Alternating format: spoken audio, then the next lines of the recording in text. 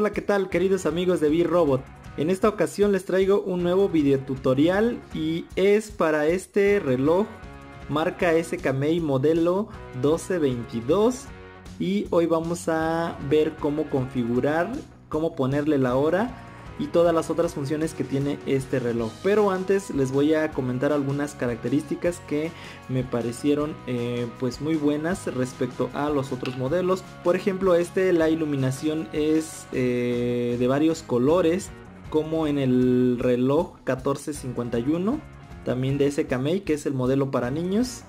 Este también tiene iluminación en varios colores. Vamos a ver las medidas de este reloj. Tiene un diámetro aproximado de 5 centímetros.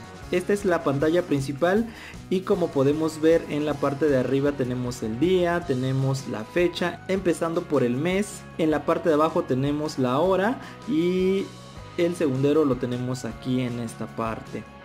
Es resistente al agua hasta 50 metros de profundidad pueden ver cómo se ve en la parte de, atrás. Y bueno al igual que otros modelos tiene cuatro botones. Este es el botón de iluminación el botón de modo el botón de inicio y el botón de reinicio. Con estos cuatro botones vamos a acceder a las funciones y también vamos a poder configurar el reloj Empecemos entonces. Con este botón de modo vamos a poder navegar entre cada una de las funciones. Si lo oprimimos una vez, aquí estamos en el cronómetro. Si oprimimos el botón de inicio, empezará la cuenta. Si queremos pausar, volvemos a oprimir el botón de inicio. Y si queremos reiniciar, oprimimos el botón de reset. ¿Listo? Si oprimimos nuevamente, aquí nos lleva a la pantalla principal, oprimimos otra vez y después ahora nos aparece la función de alarma, el cual podemos configurar con este botón que es el de reset. Si lo oprimimos una vez, nos aparece el icono de alarma que nos dice que ya está activado y podemos configurar la hora.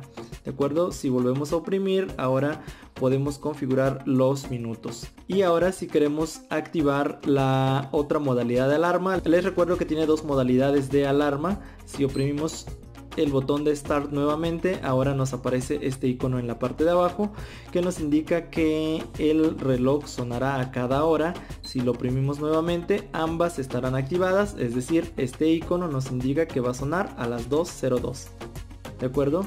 Y si volvemos a oprimir, ambas alarmas están desactivadas.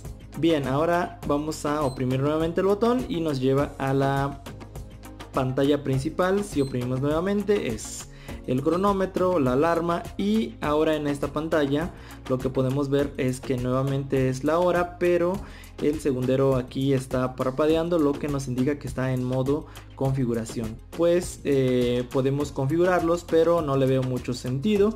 Vamos a oprimir el botón de reset para poder configurar los otros apartados. Oprimimos y ahora podemos configurar la hora en este caso son las 12.51, le dejamos así, volvemos a oprimir el botón de reset y ahora sí podemos configurar los minutos. Entonces vamos a ir aumentando hasta llegar a 51.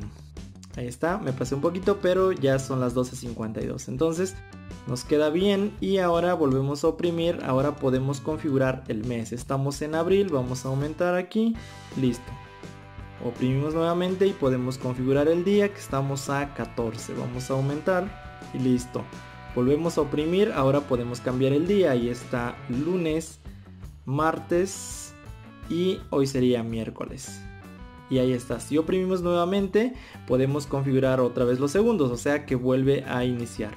Entonces hemos terminado de configurar, para ello vamos a oprimir el botón Mode y ya quedó, ya tenemos la hora configurado.